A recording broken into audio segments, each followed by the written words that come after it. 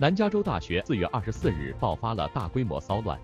警方与在校园内扎营的支持巴勒斯坦的学生和抗议者发生了冲突。学生和抗议者占领了南加大的校友公园，呼吁该大学在巴以冲突中切断与以色列的财务联系。抗议活动大部分时间是和平的，但也出现了一些紧张时刻，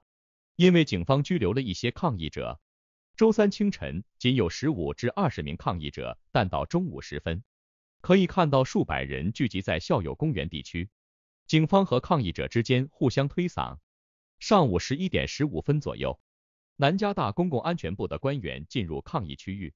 指示学生不要在公园的树木和柱子上悬挂标语、旗帜等材料，警告他们不要使用扩音器，并开始试图清理营地中的帐篷和一些标识，随之引发了紧张的对抗。南加大公共安全部助理局长大卫卡莱尔指出。学生们可以自由抗议，但不被允许在校园内安营扎寨。因此，警方介入拆除帐篷。约二十名洛杉矶警察局警官随后也加入了学校校警和官员们的行列。警方证实，这些警员是在协助校警，因为该大学向他们发出了求助电话。学校官员最终在下午一点四十五分左右关闭了校园，仅允许学生进入。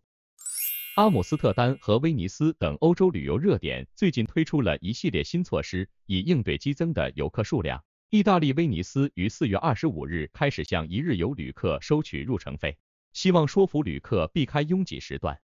特定日期的一日游旅客必须购买五欧元门票，检查人员会在重要地点抽查。其他措施还包括向过夜旅客收取数欧元不等的住宿税。荷兰首都阿姆斯特丹近日宣布。全市禁止兴建新酒店，并计划在五年内将运河游船数量减半。去年二月，阿姆斯特丹宣布禁止在户外抽大麻。该市还发起远离饮酒的线上活动，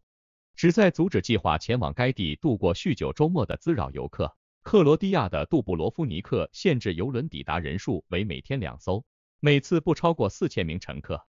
西班牙巴塞罗那限制旅游团在高峰时段进入历史悠久的拉布卡利亚市场，在市中心组织的导览团不得超过二十人，且导游不能使用扬声器。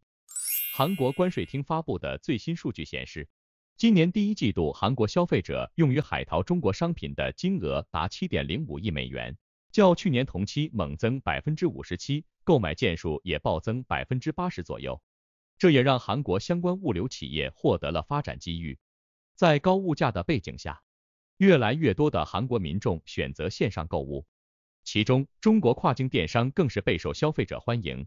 中国跨境电商平台在韩国快速发展的原因，一是性价比优势凸显，再加上商品种类丰富以及配送快、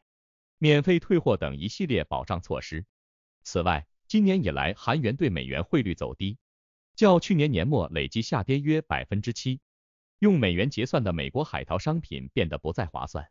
越来越多的消费者转向中国跨境电商平台。面对中国海淘直购需求的激增，韩国知名综合物流企业计划将仁川机场内的自有通关场运营规模扩增两倍，提高货物处理能力和通关效率，为中国跨境电商平台在韩发展进一步提供互惠共赢的物流环境。